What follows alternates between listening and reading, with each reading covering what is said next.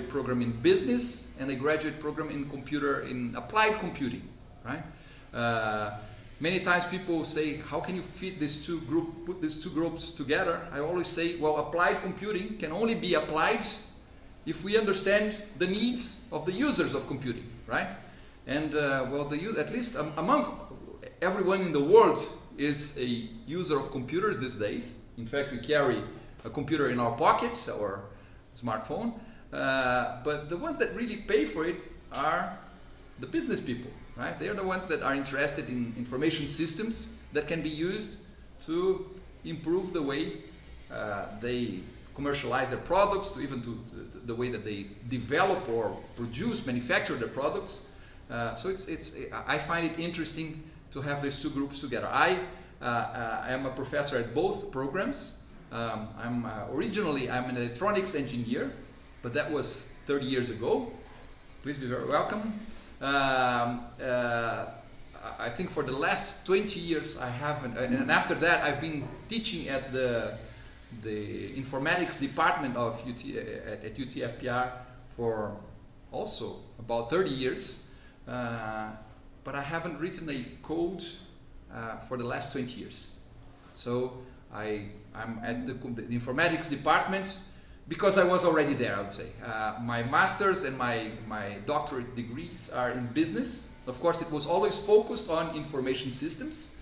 So, uh, but uh, information systems and, and, and, information technology became the object of my study more than the objective of my study, if you understand it.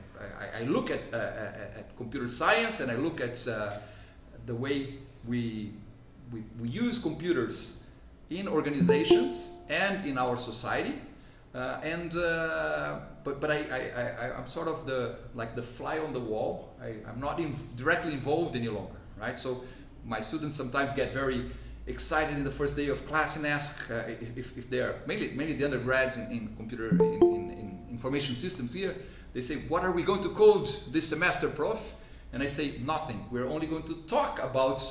Uh, what we do when, when we are coding and we will discuss why we do that. So I will try and, and, and reach to several different uh, topics or fields of, of research that involve uh, you know, areas such as psychology, uh, such as sociology.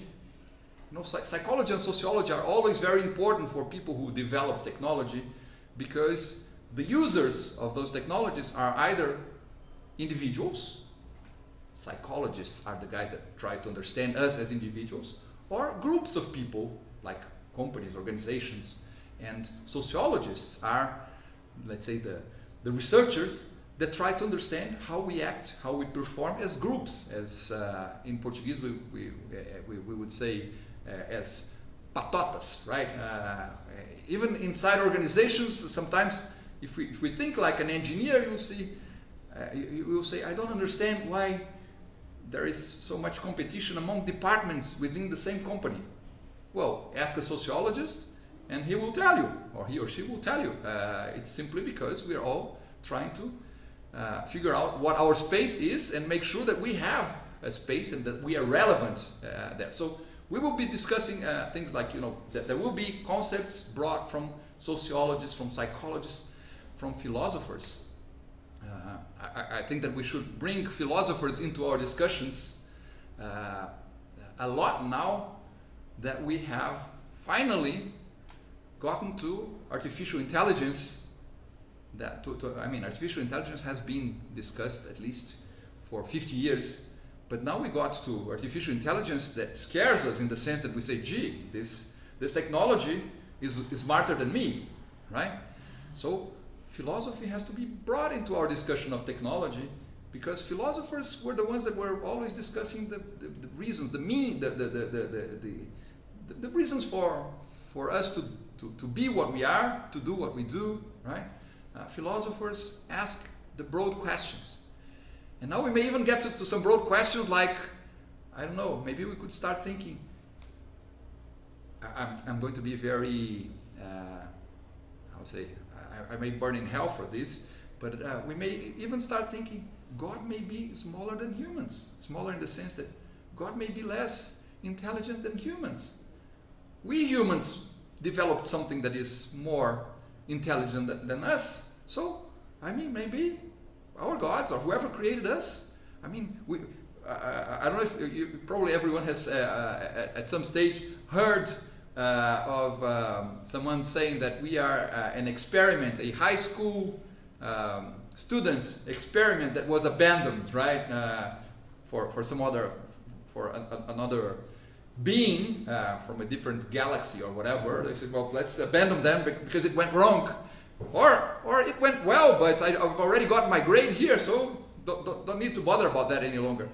But the philosophers here are always trying to, to understand this uh, ab abandoned study or experiments. Or, and now we have this other possibility of thinking, gee, if we create a form of intelligence that is uh, more powerful than ours, that means that in the future, this power of uh, uh, this intelligence may be around. We may not be around any longer, either because we we didn't survive our own stupidity.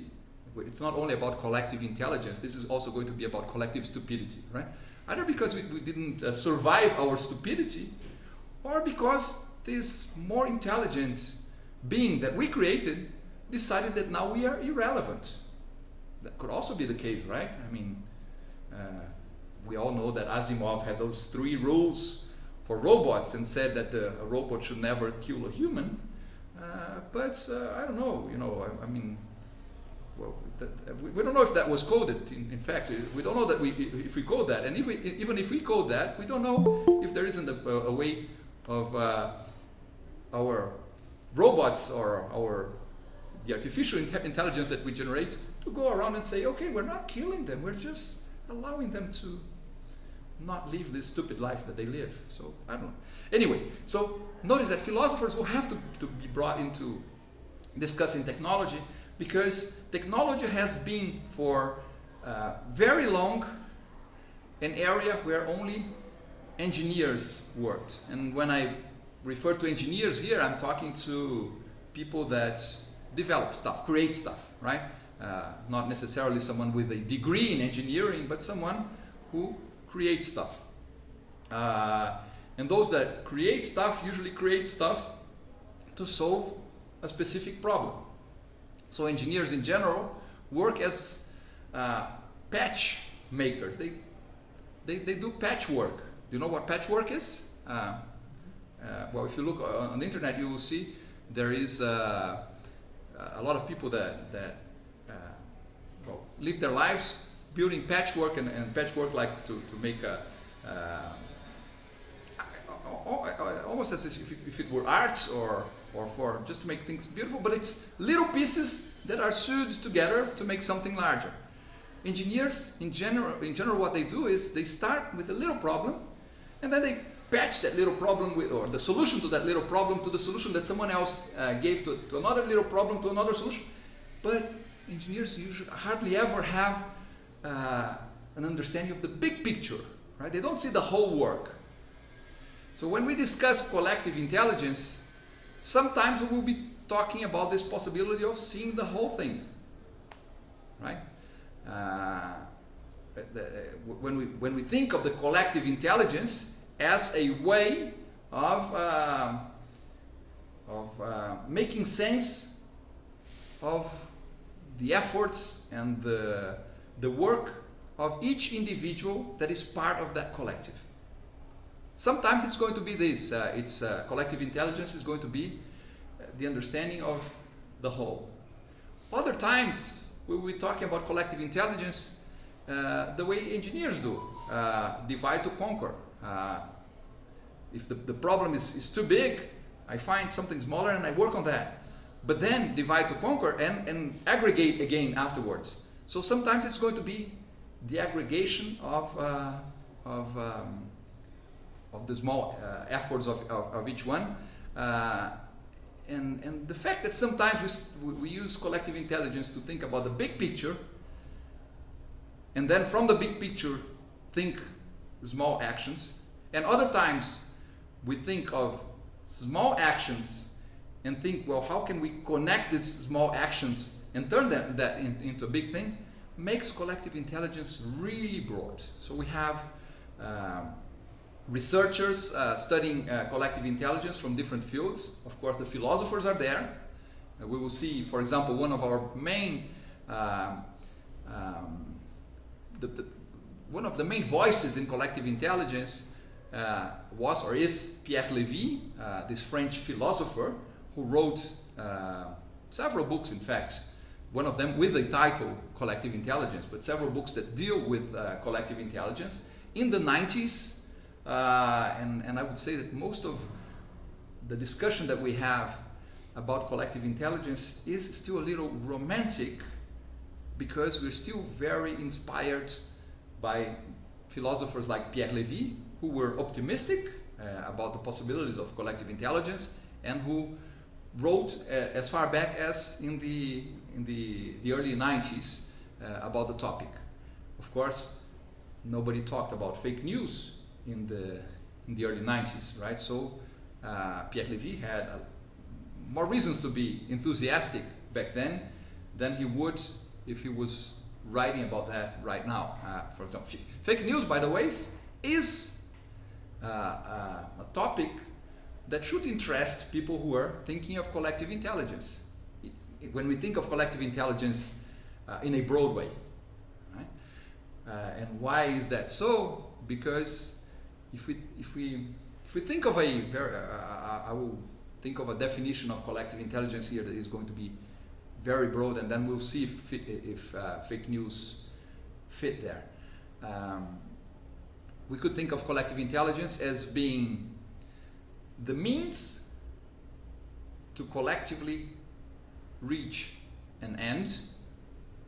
In that sense, we would be talking about collective intelligence as uh, tools to generate a result that with we we think that is interesting. And when I say we, this we may not necessarily be a we; it may be just one person, right?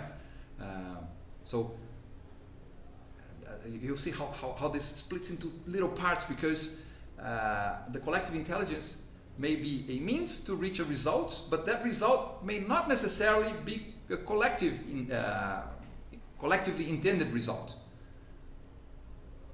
Uh, for example, uh, when a company uses crowdsourcing, are you familiar with that term, crowdsourcing? When, when you try to get others uh, outside the company to do things for the company. And when a company develops a program for crowdsourcing, uh, it wants to use the collective intelligence so as a resource to reach a result that is interesting to that company. So that company will benefit from crowdsourcing, right? Uh, we usually do not use the term crowdsourcing to refer to uh, like more social projects. Although sometimes you see the literature uh, uh, has still not been. I mean, we still have to work a lot on the on, on, on the terminology that we use uh, to make sure that uh, that we are all talking about the same thing, right? Uh, but for example, there are authors that say crowdsourcing is not collective intelligence because in their mindset, collective intelligence has to be uh, means used to, to achieve a collective intent, something that is good for, for, for, for a large group of uh, uh, humans and not necessarily for one single person or, or entity. But that's a narrow, narrow vision of collective intelligence. We, we want to, in this, at least in this course here, we will talk about all the possibilities of using either collective resources, not uh, and now I'm not even talking about collective intelligence in the way of, in, in the sense of only, you know, people's minds. Collective resources. It could be our muscles to build things. For example, if we use this broad uh, definition, uh, the pyramids in Egypt would be the result of the use of collective intelligence. Notice the intent was the only one who wanted uh, the pyramid was the I don't know how to say that in English, the pharaoh, uh, the, the king who wanted to be uh, buried, come on in, uh, and, and, and, and be, below that beautiful architecture, let's say. Um, but everyone else, all those, all those brick workers who, who, who had to not only, well, shape the bricks, uh, stone bricks, uh, carry them uh, a long way and, and put them on, a, on, on, on, on, one on top of the other so that they formed that pyramid, they were all part of this collective intelligence uh, used as, uh, you know, using uh, people's energy, in this case their muscles more than their brains, to build something that was one only person's intent. So we have that possibility, and we also have uh, a different possibility. For example, if we think of Wikipedia, Wikipedia is also each one of us as an individual bringing a little brick of knowledge into this, um, let's say, platform. Uh, but we're building something that is uh, that we all believe that is good for humanity or for, for a lot of people. Uh, and, and we're not working with our muscles, we're working with our brains, even if in, in, in small tasks. Right? So that's no, notice how, how different things are. Uh, in crowdsourcing as being dividing, dividing the, the, the, work that needs to be done in several small parts and, and, and, and, and, and then uh, coordinating the efforts of all those people to make sure that a specific result is obtained. Uh, that being one possibility.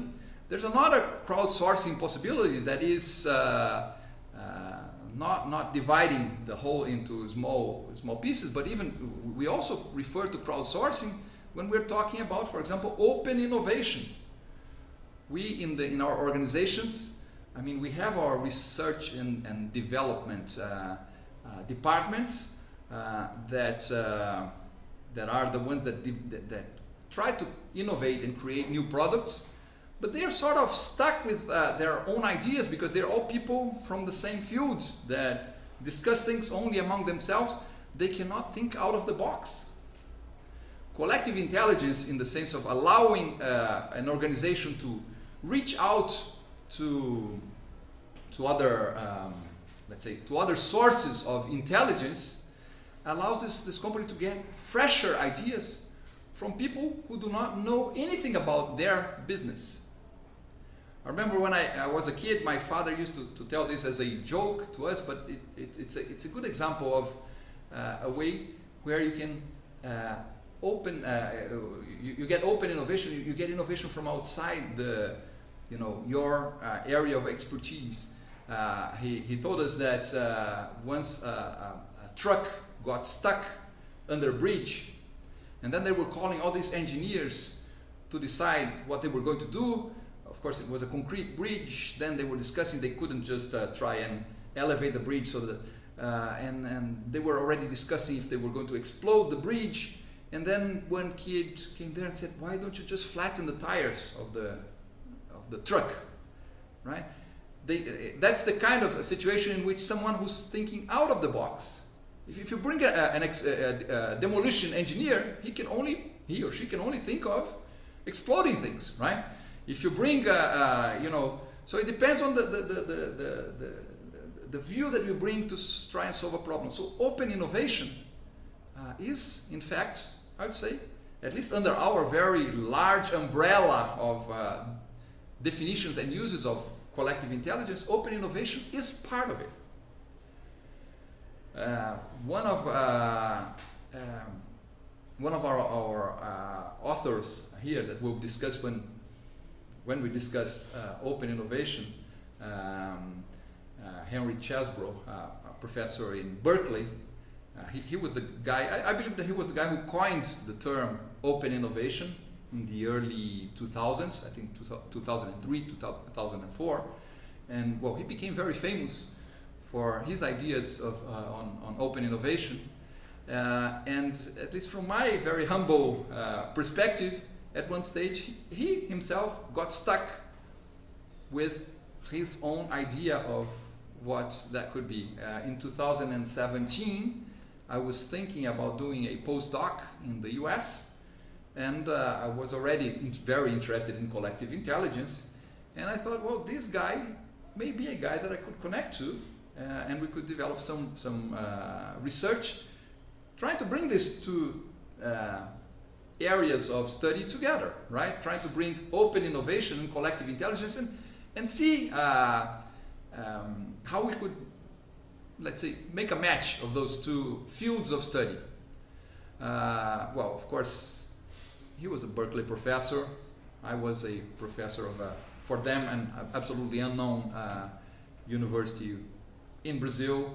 Uh, he, I don't even know if he bothered uh, looking if I had research on that topic, but even if he, if he had, he wouldn't be impressed because we, we, uh, one the challenges that we have, we have the barrier of language, so it's, it's much more difficult for me to write um, um, a scientific paper and have it published in the same journals where let's say the North Americans and, and the Anglo-Saxon and, and, the, the, British, uh, where they publish their papers. So most of my papers were published in Portuguese or here in, in, in Latin America. So I don't, but I, I, really don't think that he even bothered. He looked at another guy asking to come and, and do something with me, but he said he, but he he he spared the time to send me an email back and say, look, uh, I don't think that open innovation and collective intelligence uh, relate to a, one to, a, to, to, the other to an extent that deserves uh, me to, to, to spend my time uh, discussing them. And that period, and, and, and there I noticed that I had a no. He was not inviting me to his lab, uh, which was okay. In fact, I had the opportunity of later going there and, and talking to him uh, personally because I went to, to, to, to, Berkeley, but to a, to different department. Uh, and uh, my strategy ended up being well, instead of proposing that as a research project, I proposed collective intelligence as a way of advertising the, the their own uh, their, their own research. So instead of talking to a researcher there, I talked to, to this guy who was uh, the, the, the, manager of a, a, program that that received all the PhDs uh, and uh, PhD students and postdoc um, uh, uh, postdocs and visiting scholars or whoever went to to Berkeley and said, I, I told him, you have so much intelligence there. Why don't you try to gather that and uh, and, and build on build on that? And we started a very very, very little project with uh, with them that we still uh, do, which is uh, trying to to spread the discussion of well the, the, the startup concepts of the Silicon Valley and their area, um, discussed by people from, from that area specifically. And we, what we did is a series of uh, YouTube videos and, and in which there's a, but that, that was a different way of getting to, to, to, to Berkeley because at that stage I, I just wanted to be back to, the, to that part of the world, let's say, uh, uh, for, for my own uh, research. But anyway, well, what I was going to say, I, I, I, I, realized that I went in several different directions here, but what, what I want to, to tell you is uh, I'll be very happy if by the end of this course, uh, and by that I mean by the 26th of May, if I'm not mistaken, um, we all have an understanding of what collective intelligence is. Uh, from this broad perspective, we'll be seeing, you know, the optimistic ideas, we'll be reading about the optimistic ideas of uh, people like Pierre Levy in the, in the 90s. We will be discussing how the MIT people were much more pragmatic, uh, try to still in a very optimistic uh, way uh, develop collective intelligence over the last 20 years. And when I say that they're optimistic, uh, it is because the, the, the, MIT people have that vision, of course, of the technology will solve all, all our problems. Okay, that's one of the problems that I tell our students here also. Look, technology solves some problems, but we also have to think of the problems that technology generates, right? Uh, uh, it's difficult for engineers to do that because the problems uh, technology generates may only happen 50 years in the future, right?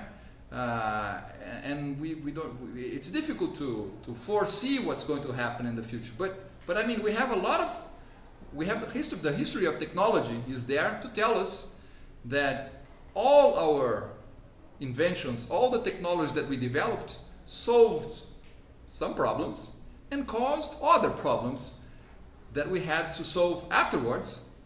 And look how we did it. We used more technology, right? Not going against technology here. I'm only saying that it's it's uh, it's very reasonable that people in the MIT who think of technology as being a, a very important asset of our society, of something good, that they will not have a critical view of uh, collective intelligence or any other way of uh, dealing with this, right? Um, and we will end up uh, also talking a little bit about the, you know, things that I have to, to, to admit that I only became a little less optimistic myself after 2017, 2018, when we had already seen the way collective intelligence in this broad sense was used to elect Donald Trump in the United States, right? Uh, and, uh, and, and based on, uh, well, not necessarily only on fake news, but based on news that were sent very selectively to people uh, so that they decided, well, those who, were likely to vote for that candidate, so that they, they went there and voted. You know that in the United States it's not compulsory, right, to vote. Uh, and those who were against, maybe to make sure, make, make them less, uh, um, make, make it so that they didn't, uh, they, they thought that it wasn't important for them to go and vote, right? Uh, and we saw, I mean, uh, in, in, in, recent years, we saw um, collective intelligence in this sense of fake news being used by all the I, I, don't even have to say the, the extreme uh, sides of our uh, polit uh, politics, right? But even by people who seem reasonable like ourselves, how many times did we just feel like forwarding something that we enjoyed and then we say, let me check if this is real. And then when you go check, you notice that that's, that's just something that you were inclined to believe that was real because you feel sort of that way. But when I'm, you know, we are, we're all part of uh, fake news uh, these days. And in fact, we have always been. Right? Uh, we believe in what we wish to believe in this world. Uh, technology and our, our, let's say, contemporary, I can't say that word, contemporary, can't say contemporaneidade or whatever, for those who understand Portuguese. Uh, uh, the, the, the, the, fact that we live these days, that we live in, in, in this world now, uh, makes us um, very fit to believe in the world that we want to believe. This is why uh, many times uh, we have this feeling that in, uh, in, spite of living in the same, let's say, sharing the same room, we have completely different perceptions of, we perceive reality differently, right? Because we, we are exposed, uh, which means that others have the intention of exposing us to, to, to, to, a specific idea, and we ourselves decide to be exposed to ideas that please us for whatever reason. So uh, reality became liquid, as some of the, of the philosophers say. Reality is liquid. Re reality is liquid because I look at reality and I see something. You look at the, what should be, at least for the Cartesians, should be the same reality and you see something completely different. Right? Technology has pushed us uh, to an extreme with respect to that. We, it was much more difficult for some for two people to look at the let's say the same reality and I'm being Cartesian here without any reason to be uh, but uh, in in the 19 in the, the early 1900s, it would be more difficult for two people to look at the same phenomenon and see different things. Now, we not only see different things, but we, are, we, we have all the arguments to, to defend our own, uh, I will not say our own perceptions of reality, our own realities. Uh, and this has uh, an important effect on collective intelligence because collective intelligence starts uh, happening in what, what we call echo chambers, right? Places where whatever we, we say we, we say echo is echoed back and reinforces our own understanding of the world. So we have to be aware of that. I, I think that collective intelligence as a field of research should spend a lot of energy discussing fake news, echo chambers, uh, the possibility of collective stupidity, uh, because collective stupidity uses the same tools, the same means that have been uh, naively developed to be uh, the tools and means uh, to develop collective intelligence. Okay?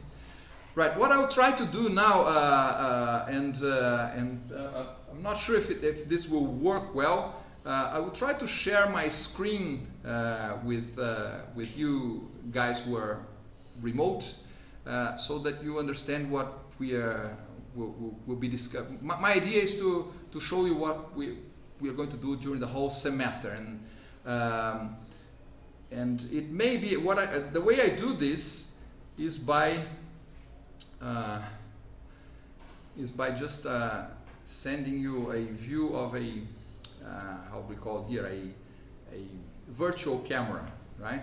The problem of using um, Google Meet with a virtual camera is that it usually shows the whole image uh, with a low resolution, right? So you may, may be seeing, for those of you who are remote, you may be seeing my screen blurred a bit. If that happens, what I recommend to you to do is, uh, and maybe it will improve it a little bit, you go to, you know, those three dots, the vertical dots that you have for, for configuration in your Google Meet, uh, in the, the lower part of Google Meet, uh, maybe you could go there and see if you can configure um, let me see it's uh, I think it's uh, well I can't see it now but I thought it was there. Uh, can you see a configuration button there? And maybe you can configure the quality of the video that is coming to you. Check if it's it's probably automatic. Try to have it uh, at the highest resolution that you can right? This may improve a little bit the quality of my of my transmission here. Um, uh, if it doesn't, uh, I, I, I, hope that at least you, you get my image uh, the, or the image of my screen with a quality that is good enough so that you understand what I'm doing. Uh, and, uh, and by the way, the, this, this, the, the screen that I'm showing you is the, sc the screen of our Moodle page, right? Uh, last night I sent you all um, an email message with a link to this Moodle page. I know that the majority of you have already um, have already seen this message because I saw that mo most of you are already in our WhatsApp group, right? Uh, and if you see here in the in the first page of, of, our, of our Moodle screen here, uh, I tell you, well, where, where we're going to meet. This, this link for Google, Google Meet, you can keep it, uh, it's, it's the link that we're going to use for all classes, right? So all classes from now until the end of May, uh, they will all happen through the same link. If you, well, if, if you by any chance misses the link, you just ask in the WhatsApp group and hopefully some other colleague. We are doing collective intelligence here because I'm, I'm human and I'm, I'm a male. I can only do one thing at, at a time right? If I, if I were my wife, I'd be able to teach this class and check my WhatsApp at the same time. I can't check the WhatsApp now, but I know that some of the students sometimes, if you, if you see there and if you notice that someone is having a problem, please let's uh, exercise our collective intelligence here and, and, and help colleagues figure out what the link is for, for, for the, the Google Meet. Uh, uh, see, uh, see uh, Maria Vittoria is asking if we already had a, a WhatsApp group. Well, the link for the WhatsApp group is down here. Look, uh, Maria Victoria, uh, in, at the lower part here. If you click here, uh, it will send you to, to a WhatsApp group. Of course, I can't, uh, right now I'm, I'm, on my computer here, uh, but if you click there, you will get to the WhatsApp group and, and be able to join. Uh, again, the, the idea of this WhatsApp group and the idea of the WhatsApp group is that uh, we share information when, for example, if I'm here on Friday morning and I have a problem I, and I cannot uh, connect to Google Meet for whatever reason, it's it's on WhatsApp uh, that I will tell you. Sorry, the class. I'll, I'll, teach the class to whoever is here right now. I will record it and it will be available for you afterwards. Right? If that happens, hopefully it will not happen. Right? Uh, uh, uh the, the, the, last few times that I've taught it this way, uh, it has worked very in a very stable way. But anyway, uh, it's it's so Luciano is saying that he, he did not receive the email. Uh, maybe check if it didn't go to your uh, to your um, spam um, box. Uh, if not, please email me or, or uh, email me afterwards. Uh, I believe that you all have my email, right? It's Graeml, G-R-A-E-M-L, my surname, at utfpr.br. just email me there and I will see. It seems that, that there are people that did not receive the, the email. Well, uh, if, if you did not receive the email, uh, my question is, how were you able to find our the link for this connection here? Uh, was it through through a, a, Google Meet invitation or something? Because I can include also there all the information. Just want to know from someone who did not get my email. Uh, just want to know how you got to know the, the, the link to the, the Google Meet. Uh,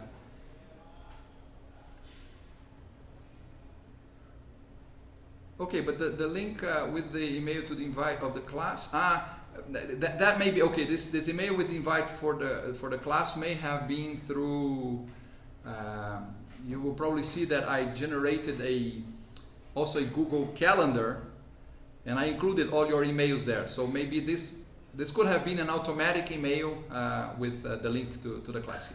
But what we will do, uh, uh we will, um, well, I'll very quickly just sh share with you here those links. If this allows me, just a second. I don't know what's happening here. Okay, let, let me share the link to the WhatsApp group.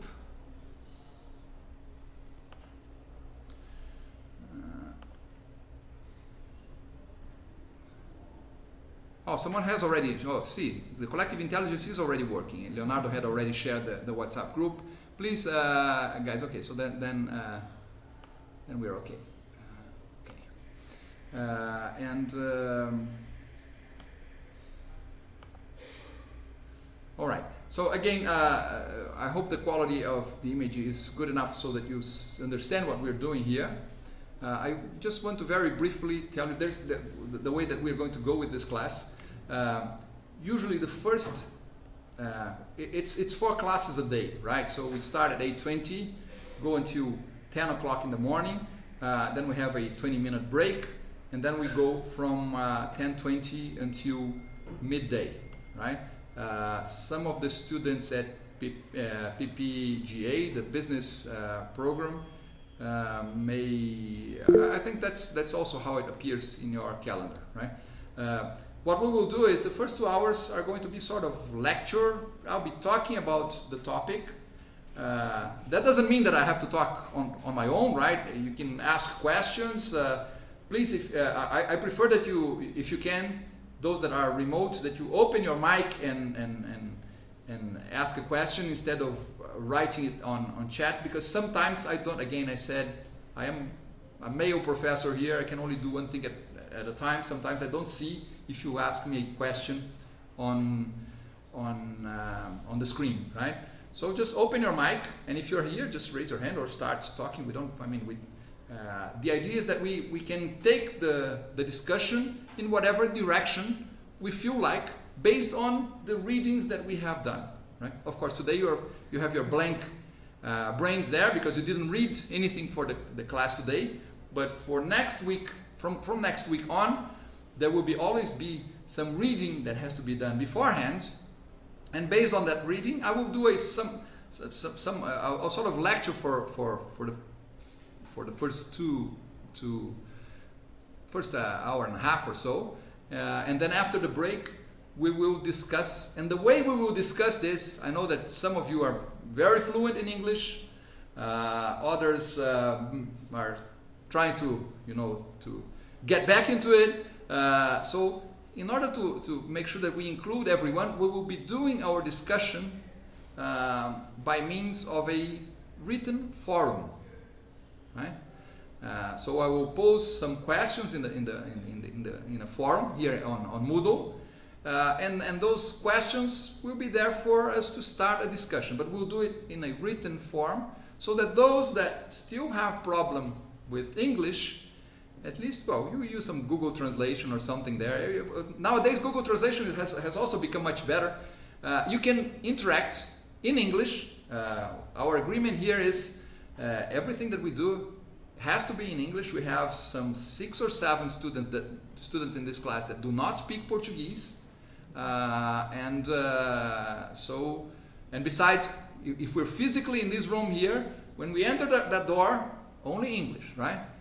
Uh, even if we have to use mimic, no problem, but we don't use Portuguese here, okay? Um, uh, and uh, and so it's going to be like that. First, first two, two we have four classes uh, a day on, on Fridays. The first two are going to be uh, me talking, and maybe you you can already ask, but then then it's oral, uh, and and then after the break, we get we sit down, and, and this is why it's going to be important for those who are here in the in the, the room that you have an access to to these computers. I, I know that uh, the guys who are not from UTFPR, you're not from UTFPR, you're not from right. Uh, okay, so maybe the other guys, you just have them, give them your password for them to, I, I don't know, uh, or, or if there is, I don't know if there is, an, is, is there a, a, general password for, for this room? No? Just, just open uh, the, their, their computers with, with your password. I, I can assure that these guys are decent people and that they're not. By, by the way, keep an eye on them anyway, right? Uh, but let's make sure that whoever is here has to have uh, uh, uh, the possibility of, of connecting to these computers. Uh, and uh, whoever is at home has no problem with that. Okay, so let's let me try and browse. And by the way, today we're going to finish uh, earlier. We don't. We will not have the second part of the class with discussion because we still don't have anything to discuss, right? We may. Uh, I will not have a break if I need a little more time and uh, and, and we go beyond 10 o'clock. Uh, today is going to be the exception, right? But from next week on, we will plan for the first until 10 o'clock in the morning. 10, and when I say 10 o'clock in the morning, I'm sorry for those guys who are in the in, in a Pacific time, right? For you, it, it probably means 6 o'clock in the morning.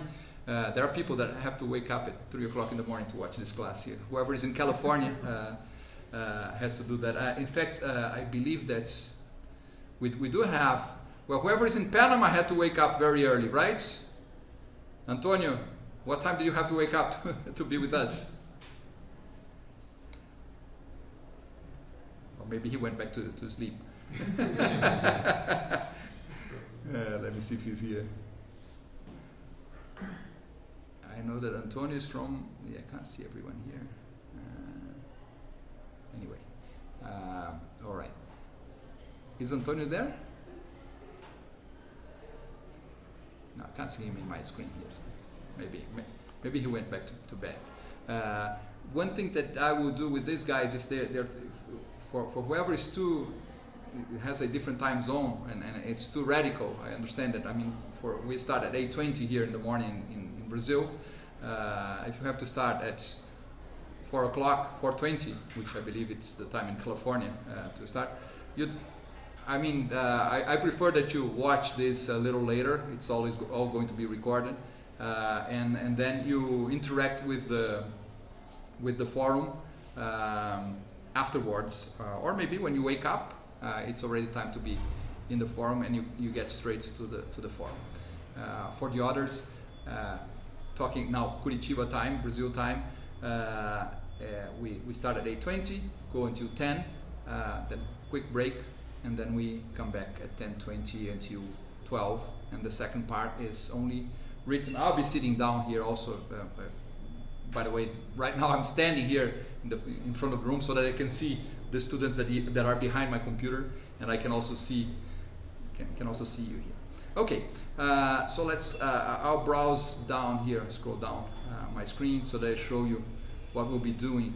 Um, well, I, I had a, a, chapter here that would be Introduction, Collective Intelligence, a Global Concern. Uh, my main idea here is to say that this is not something that came out of my mind, right? Uh, there's a lot of people discussing this around the, the world. As I told you, Pierre Levy is um, one of the philosophers who started discussing collective intelligence and, and coined this uh, the, the term.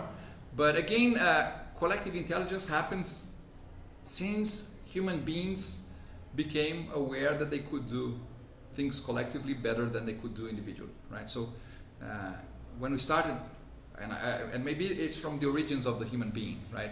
Uh, we, if we worked as a bunch, let's say to try and hunt a mammoth or a lion or whatever, uh, or any animal that would um, be our food, uh, and if we decided to do that collectively instead of alone because we thought that by doing that we would be more effective, that was already collective in intelligence in place, right? So the term is sort of new.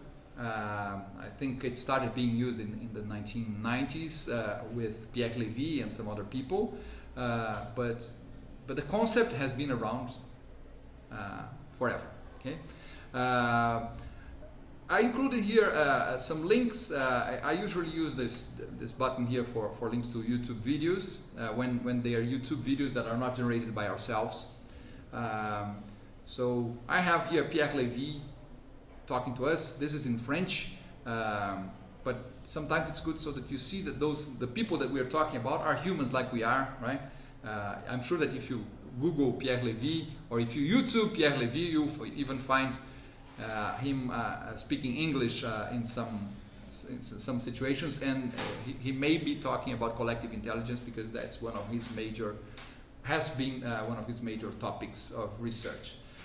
Tom Malone, this is one of the, the MIT guys that I mentioned to you here. I think this is a short video in which he's talking about the things that they do at his lab in the MIT.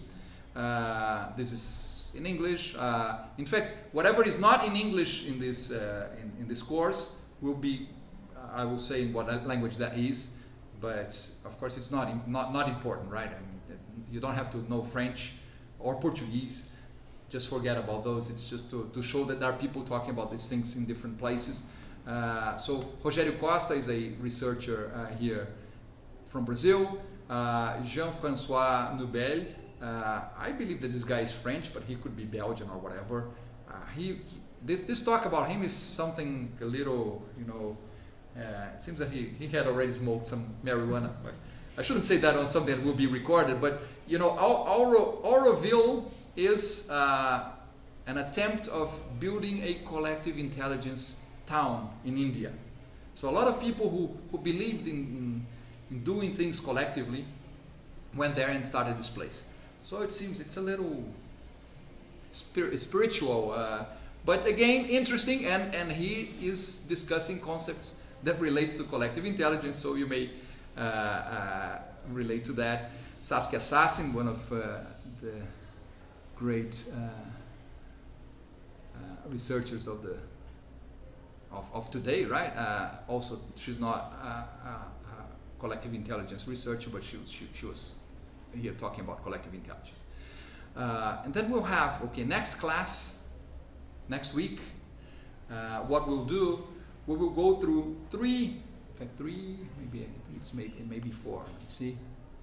Uh, oh no, it's a little more. It's five, five papers. Uh, there are five papers uh, that I included here in a class that I called My Entire Information Systems and Organizations course in one day. Why I, I also have a course that uh, I usually offer in the second semester of the year on information systems and organizations, uh, in which we discuss information systems. Information systems is a field in the computing, computer science uh, area. That is that field that is in between computer science and business, uh, and that, that, discusses the uses of technology by organizations, right? Um, and I've been teaching this course for many years, and of course it's a it's a course that takes a whole semester. But I chose four of the papers that I discussed there and brought here because although I was I, I have been teaching this course since the the 90s and you see that these references are most of them are from the 90s uh, these guys were already talking about collective intelligence. Although they did not use the term, right? They, they, they, they didn't know that they were talking about collective intelligence. But we have here uh, Venkatraman and Henderson uh, in, uh, they, they write about real strategies for virtual organizing. And the way that they virtually organize, or the, the, the concepts that they had back then, this is what people nowadays call digital transformation, right? It's crazy that uh, 25 years later we're still talking about the same thing, right? But they, what they were proposing was digital transformation in the 90s, uh, and uh, but but they were already showing that by organizing companies organizing virtually, they, they, they would be able to gather the knowledge of the customers. They would be able to gather the knowledge from the suppliers and so on and so forth. So, you know, they, they were not talking about collective intelligence, but they, uh, well, they were talking about collective intelligence. They were not referring to collective intelligence, right? Uh, McKenna, uh, 1995, even before that, right? McKenna is a, a, a marketing guru. Uh, and, uh, and McKenna um, used to say that we should use technology to build a dialogue with customers. And the idea of building a dialogue was we want to understand what they think. And understanding what the, thing, the, the, the, the customers think, think means allowing uh, not open innovation to hap uh, uh, help, uh, happen outside the organization, but allowing uh, the customers to tell us what they, they need so that we think uh, what we do more suitably. Okay? So again, McKenna did not mention collective intelligence in his work. In fact, in 1995, I believe maybe when you read, check that. I'm not even sure if he mentioned, well, I think he mentioned the internet in his paper, but I, I think he only mentioned the internet once or twice in a five or five or six page paper, right? Which seems weird when, when what he's saying is building a dialogue using technology, right? But we have to think that in 1995, none of the companies, none of what, nothing of what we have on the internet was available back then. Google was not there. Google started in 99. Amazon was not there. Amazon, to think about business, I think it's 98 or 99 as well. Uh, well, uh, all of this uh, Facebook, Instagram, all, the, all these things, they're all things that happened in the, the, the, the 2000 and something, right? So it's, it's interesting how someone can talk about collective intelligence based on the technologies of our days. And by, by the way, the reason why people did not talk as much about, techno- uh, about collective intelligence before the 90s uh, although we've always had collective intelligence, uh, was because uh, the technologies that we have since the 90s uh, it's not that they allow collective intelligence, but they, they make it much a, a, much stronger proposition. It makes it much easier for us to connect to others and build things. If we think of collective intelligence as the effort to achieve a result, uh, and it also makes it much more feasible to build the collective intelligence if we think of collective intelligence as being the result. Again, notice there's several ways we can see it. We, we can look at collective intelligence as being the means to achieve something, or we can think of ways of using technology to achieve this collective intelligence, uh, which is a, was a romantic idea because we got faster to collective stupidity than to collective intelligence, apparently. But anyway, um, and then we have uh, Nambisan and Nambisan. If you, I know I'm, I'm, this is going to be, there's going to be a lot of reading in this uh, course, right? So spare enough time. If we, if we have four, four hours together here, spare at least another 10 hours or 12 hours a week for the reading. It's, there, there's, it, it's demanding in that way, right? But if you have to skip, if anyone has to skip one of the papers that I'm suggesting, uh, I maybe maybe you could skip Nambisan and Nambisan, right? Because what Nambisan and Nambisan do is they talk about the same things as McKenna had already uh, talked in his paper some 13 years before. they don't. It's it's weird because Nambisan and Nambisan do not mention McKenna, but they're talking about exactly the same thing, but they are more specific to ways in which companies can use the or crowdsource a lot of. They, they don't mention the word crowdsourcing either. These are all terms that appeared later. I, I, I mean, crowds, no crowdsourcing. I don't think that it was still a term that existed in 2008. Not sure, but they don't mention crowdsourcing. But what they do there is talk about crowdsourcing happening to uh, conceptualize new products, to develop new products together with the customers, to test new products. I mean, this, this is something that in the software industry we've always seen, right? The beta versions of software being distributed in a way that the, the customer becomes the part of the, the testing team, right? Uh, advertising and so on and so forth. So it's, it's a very interesting paper. It's just that it, uh, I realize that there is a lot of reading. Start with the others. Leave this one for, for, for, for, for to be the last if you don't have time to read all. Uh, then we have uh, uh, an interview with Michael Dell. This Magretta paper is an interview with Michael Dell from Dell Computers. Uh, and um,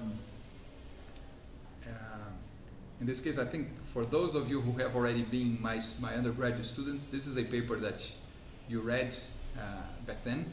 Uh, uh, it's a paper in which it's, it's an interview about the, the strategy, the strategic planning of, of, uh, of, Dell computers in the 90s. Of course, it's in 98. Uh, and it shows how Michael Dell used the collective intelligence of its suppliers to improve the quality of its computers it used the, the, the, intelligent, uh, the collective intelligence of its customers to get a better understanding of what products should be delivered to the markets. Right? So very interesting also.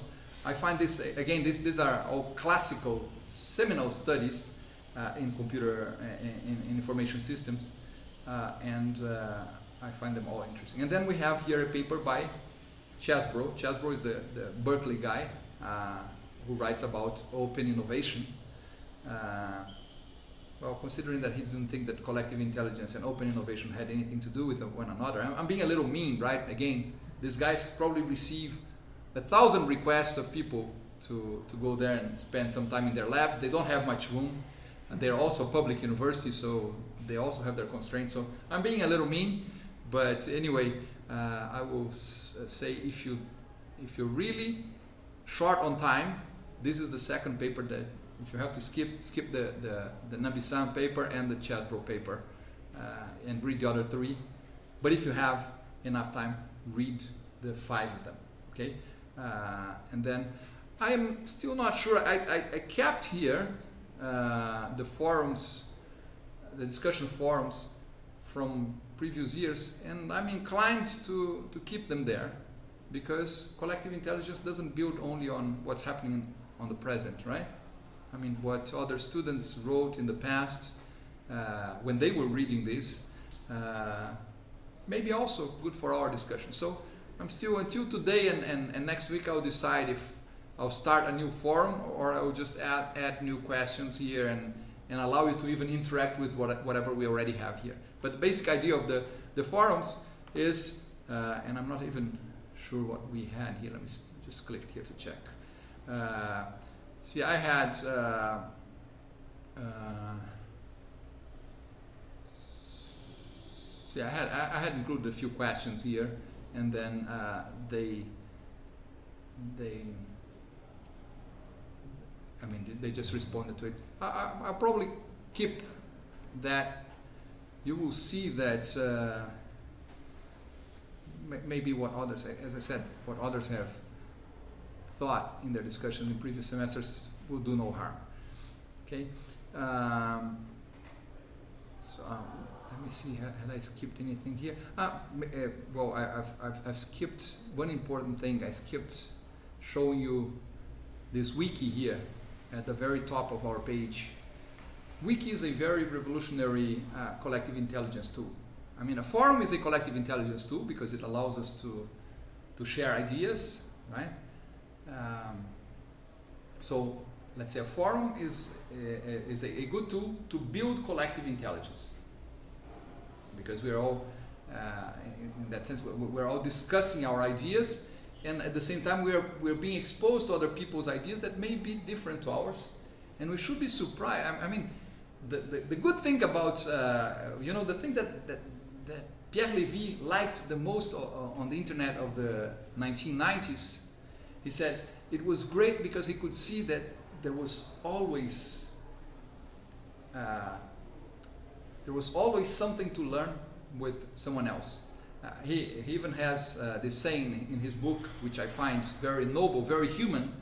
Uh, every human being knows something that nobody else knows.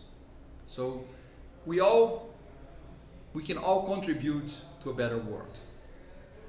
Uh, of course, maybe he was a little naive uh, in not knowing that we are not concerned about that. We want to impose our own ideas many times, right? It's, it seems that although humans have two ears and one mouth, we want to talk more than we want to listen. This is something that maybe we, we will actually get to collective intelligence, to the collective intelligence that, that is possible through the technological means that we built, when we learn that we should talk, when we have something to say. But we should always listen to what others are saying, because what others are saying may change the way we think. Whenever it only reinforces the way we think, it's not doing it as any good, right? Because, I mean, that we already know. But uh, what can others say that change the way we think? Uh, I'm not sure if this is very human to have this kind of perception or if we just want to show others that we are right, right? It's, it's more important to be, you know, to impose our right ideas than to know other good ideas. Uh, so the forum is a tool that allows us uh, to do that to some extent. And another very, I, find very revolutionary uh, uh, tool is the wiki, very collective intelligence oriented as well. This is these were all the, the, tools that fascinated the first people to talk about collective intelligence because they said, look, we can build things together. This is uh, the wiki is more like the forum is to discuss ideas and to get to let's say more intelligent ideas as a uh, collectively. The wiki uh, is to build little pieces uh, or bring little pieces together uh, and, and make a, a, whole that is larger than we could do on our own. So it's the wiki is more like aggregating things. So I can assure you that there's there are parts of this wiki. It's it's not very big because I have never emphasized it as much as it should. But uh, I can assure you that there are parts of this wiki here that I've never seen. So some people say, and, and those in organizations say, and I say, a wiki in an organization is great because it allows people to share their knowledge. But then, then there's always that guy, that, that person who, who wants to be in control and say, but do we have, how do we control that? We don't. So excuse me if you see anything here that shouldn't be here. Uh, I mean, we, we try to have this um, course as open and, and, and as friendly as possible so that everyone, nobody feels that they should try and graffiti our walls, right? But there's a possibility. Anyone can come here uh, and here it's, it's to view, but I can also edit. And I can, uh, and by, by being able to edit, I can delete everything, uh, or I can include a new item. Uh, and what I, what, what I count on you here is if at any stage you find anything here that you find that is not suitable, either delete it yourself or tell me, Alex, I think that this should, should be, uh, pay, pay, pay attention to this because this shouldn't be there, right? But it's, it's open, anyone can write. It's, it's a chaotic tool because anyone can write. You can write in a very hidden place where, you know, and, and uh, what, uh, I, I, I mean, I'm not checking the, what's there all the time, but I, I, I get surprised with the amount of interesting things that I find here because some of you found uh, a video and you think, well, I think that this relates to collective intelligence, you come and include a link here, right? And then your friends uh, come there and they, they, see your link and then they include something else. So I, I, I like the concept of the wiki as being a very strong collective intelligence tool, but it's that kind of collective intelligence tool that helps build uh, uh, the sense of responsibility in the group and build a, a sense where well, we're It's very easy to graffiti this and to, to, to include uh, something that is not wouldn't be acceptable here, but we're not going to do that because we're all here to learn with one another, right? Um, okay, so uh, if you if you want to just check whatever we have here, uh, there's even the first item here. Well, now I'm in edit mode, so if I click here, I'm editing. Uh, I'll, I'll go back to view mode.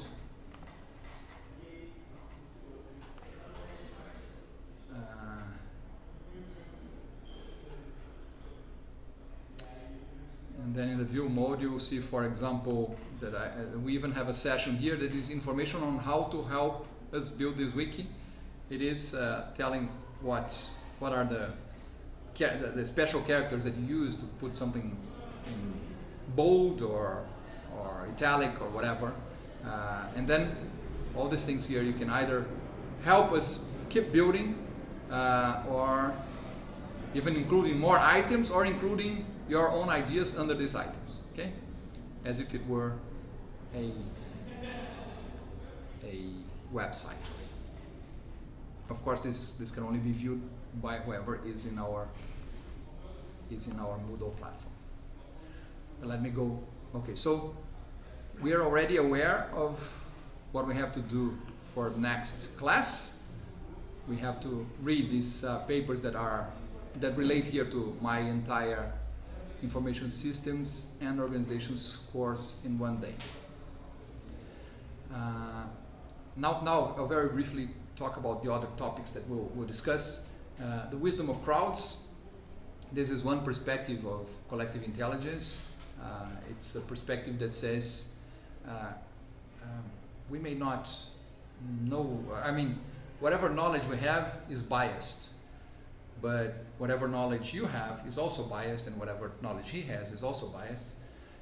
We are all biased in different ways. So when we average our knowledge, we cancel, the, the bias cancels out each other and we get only the, the, the what, what is right, right? Uh, this is the, the principle behind uh, the wisdom of crowds. Thinking that on, on average, so, so big crowds will know it better. Big crowds, when uh, when asked something, uh, will, although each one of, of those people uh, uh, is going to, to, let's say, to, to, to express his or her own opinion, uh, when we average things out, we get to the best result, right? There is a book by uh, Surowiecki. Uh, I hope that, uh, in, in fact, uh, this semester I haven't checked my links if you find that any links are broken, please tell me and I'll try to solve them as soon as possible. Of course, for example, the link to this Surowiecki book is a link to somewhere in the, in the internet. Sometimes maybe some, someone takes it out. If, if it's not there, just tell me and I'll try to, to find out where things are, right? But anyway, this is a bestseller guy. He's not a, an academic, but he wrote uh, about the wisdom of crowd, crowds based on this concept that we together decide better than than, than individually simply because the biases that each one of us has uh, is cancelled. Of course, for this to work, we need uh, to remember our, our, statistics that to say that each one's biases is cancelled by the others means that we are not all biased in the same direction. So this doesn't work if uh, everyone who's who's being included in, in the effort of collectively deciding something if everyone is biased the same in the same direction. So fake news destroys the wisdom of crowds. Uh, even uh, one of us uh, expressing uh, our own idea uh, and, and being powerful enough to influence others already affects that. This would need the, let's say, the sample to be random and not to be a biased sample of people and, and, and if it's the population, even being the population, for the population to take the right decision, it should not have been influenced by a stronger, a stronger ideas that made everyone think in a biased way. So it's again, it's it's it's sort of utopic. Uh, we'll never get a situation where we're we're all biased in different ways, completely like that, uh, unless we're talking about uh, things that do not matter much, right? For those things that matter a lot, we, we are always fighting for, for, for, for our ideas. Uh, and uh, so we'll have to take the wisdom of uh, crowds with some caution, but it is, it is a way of uh, making collective decisions. In fact, elections, for example, are an expression of the wisdom of crowds. Okay? Whoever uh, we, we have several candidates, people vote on their candidates, and one of them will be elected. Uh, if the wisdom of crowds works perfectly, we can assure that the one that was elected was the best, let's say, the, the, the best, the most suitable uh, candidate for that moment. Uh, uh, and even if, if we, even, even if the wisdom of the crowd doesn't work, uh, that that uh, is still a collective. It's it's still a collective decision in which you say, okay, if my thinking is not the one that prevails, uh, at least I know that I participated in the decision and I showed what my intent was. Again, when we talk about our politicians, this never works well, right? Because uh, the good politician should be that one who, when he got to power, he or she, um, he or she would think, uh, going to think, okay, uh, now I have to focus on doing the things that those that did not vote for me want me to do. This should be the focus of someone who, who's going to rule, let's say, a country, right? Because, you know, it's natural that without thinking, I will do whatever those that voted for me expect me to. But now I have to focus and concentrate to make sure that I understand the, the ideas of the others and do things, considering that I'm ruling for everyone, that, that I'm doing things that will please not in a way that I will get them to be to vote for me in the next election, but please in the sense that they are also citizens and that they are also paying taxes and that so they're and that they are also part of our let's say they share the same space with us, so, so we have to, to live in the live together. Uh, so all of that should uh, make our, our, politicians think, what do I have to do to make sure that I govern for those who did not vote on me? Does that ever happen? Right? So see uh, that we're discussing here principles, uh, ideas, uh, and they only work to some extent. But one thing that the wisdom of crowds does here is after you get someone elected, and, and well, first it, it reinforces the power of democracy. Because it says, well, if we have uh, in a dem democratic uh, place where people can, each one can express their idea, uh, and, and, and, that's taken into account to choose, let's say, wh whoever is going to be our leader, uh, this uh, will make everyone feel that we are committed to it. Right? Um, but it's, it's not perfect. Anyway, uh, so we'll, we'll, discuss this next. This is going to be our second topic.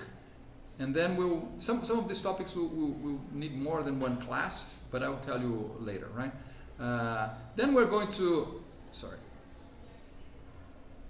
Then we're going to, to, to, to, to so the, the, the, the, wisdom of crowds is uh, typically here uh, a topic that we'll discuss over more than, than one week. Then um, we will be a little more formal on our understanding of collective intelligence, seeing what several authors consider it is.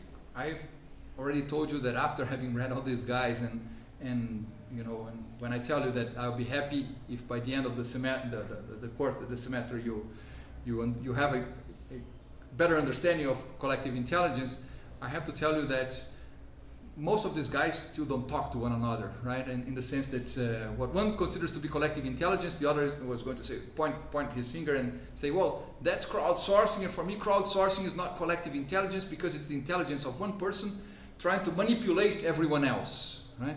Uh, so there's going to be all this debate. You will see that there is a conflict among different ideas here.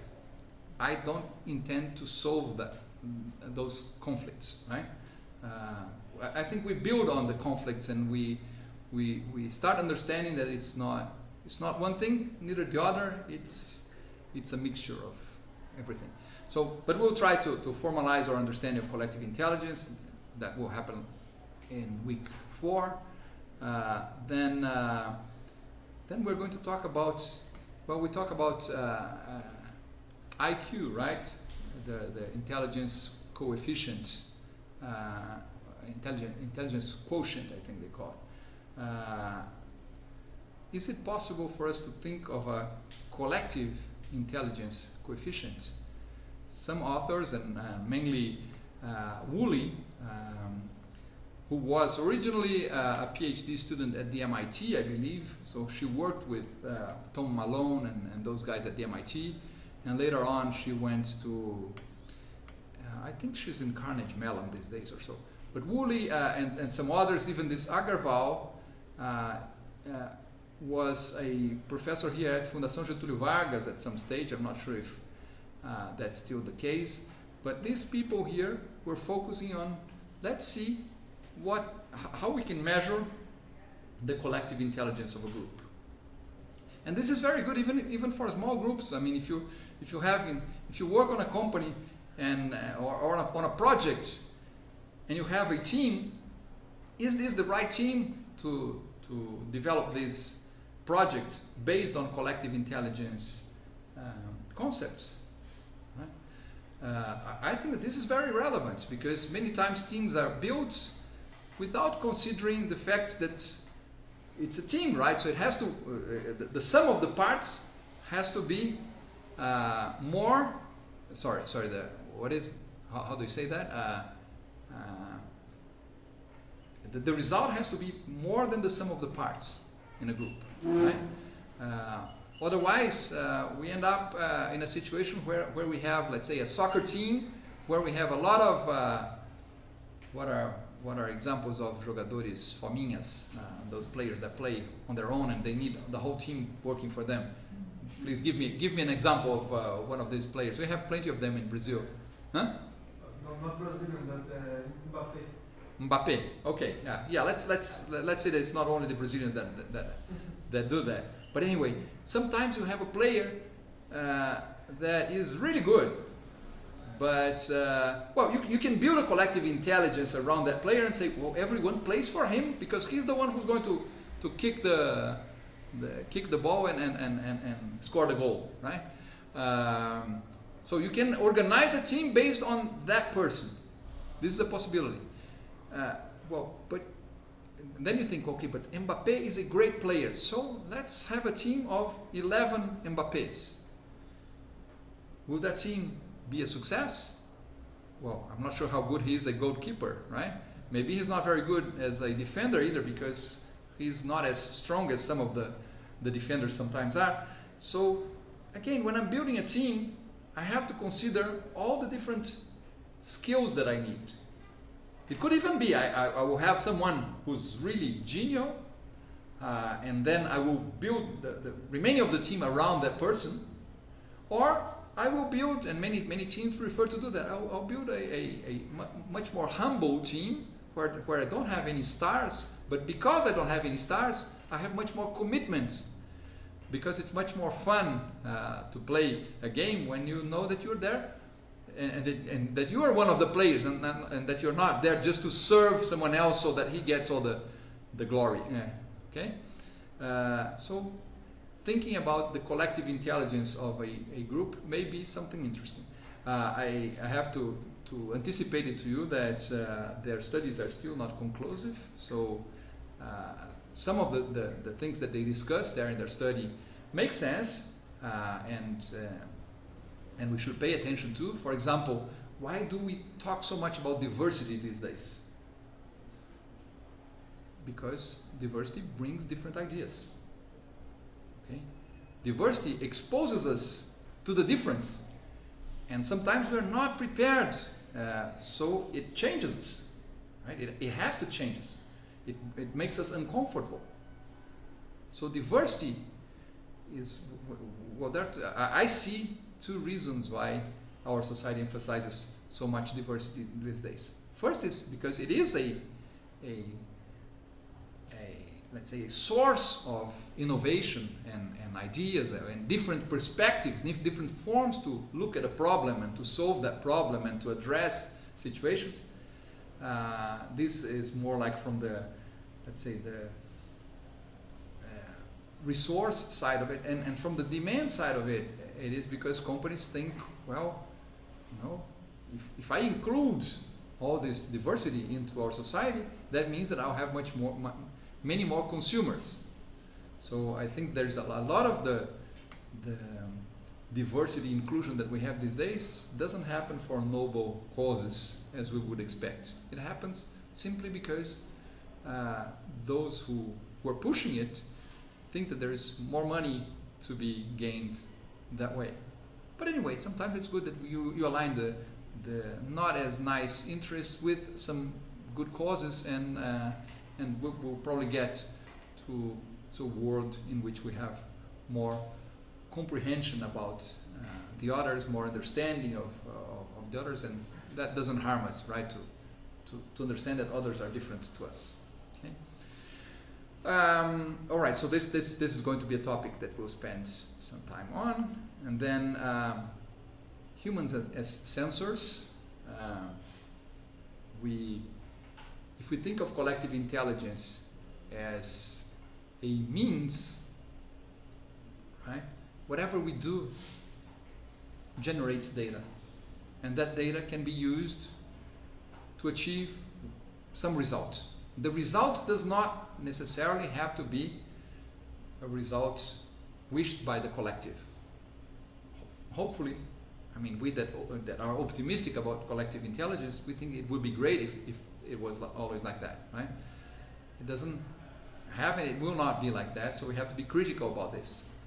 But at the same time, uh, we are generating a lot of data, and that data that we generate individually, but that can be aggregated, generates a, a collective um, amount of uh, data that can be analyzed uh, and that results in decisions being made either individually or collectively. For example, we can use humans as sensors to monitor the use of uh, the uh, urban, urban, uh, uh, urban transport system and we find out that there are many more people that are using the north-south line, for example, than the east-west line here in Curitiba. That are the two major uh, um, uh, lines for buses, uh, and that may allow the mayor, on his own or, or with a, a, little team, to plan urban, urban development, or it may allow uh, citizens